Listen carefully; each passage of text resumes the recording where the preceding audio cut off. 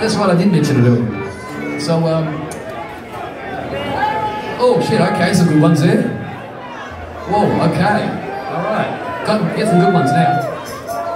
Well, while we think of how we're going to put that one in somewhere, try this one.